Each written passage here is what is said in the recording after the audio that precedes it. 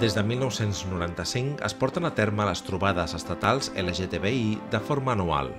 Aquest és un espai del moviment per compartir i reflexionar. Enguany a Sitges es portaran a terme les 27enes trobades estatals LGTBI amb uns quants anys d'història al darrere. Tenen una importància capdalt des de fa dos anys, sobretot, perquè han aconseguit que sigui l'espai en comú de tot el moviment LGTBI de l'estat espanyol. Eh, històricament, en els 90, la COFLE, que era la coordinadora estatal de Frentes de Liberació Homosexual de l'estat espanyol, que provenia del 76-77, quan es forma el FAC i Alegan, fèiem les nostres pròpies jornades i la FLLGTB, que és la Federació Estatal, feia les seves.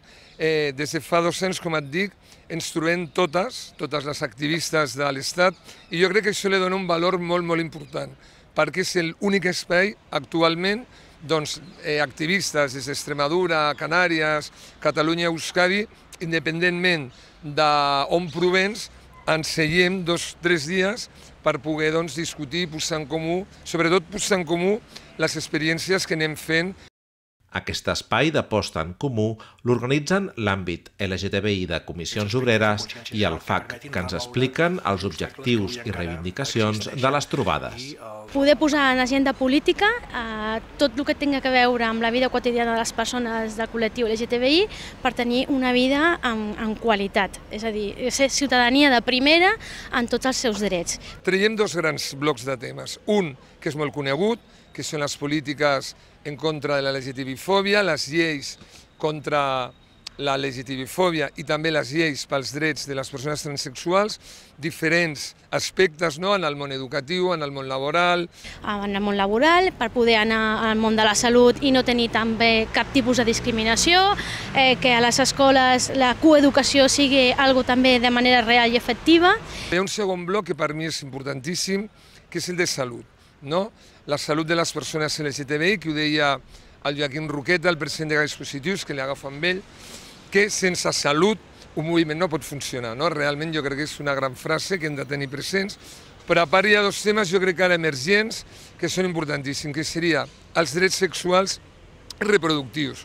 Sobretot el tema de les dones lesbianes, en el, des del nostre punt de vista, i bisexuals, amb el tema de que puguin accedir a la reproducció assistida sense cap mena de discriminació.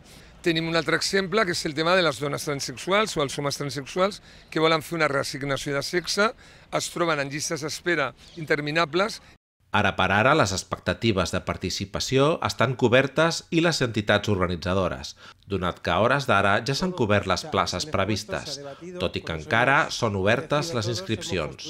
En quant a les expectatives polítiques i de continguts, es preveuen grans consensos i un treball estratègic important. Les expectatives és de molta participació, de moltes entitats i col·lectius, de persones pro-LGTB també, eh, de poder posar de manera real a l'agenda molts temes importants que tenim que s'han de tractar de manera imminent, que no podem deixar passar ja durant més temps, i de tenir impacte també amb la resta de la societat, és a dir, no només per potenciar que hi hagi polítiques en, actives en, amb el tema LGTBI, sinó que sigui algú de caire a nivell social que tothom estigui implicat, que no sigui algú com si fos d'un reducte d'un col·lectiu d'unes persones, sinó que és algú que té que veure en tota la societat.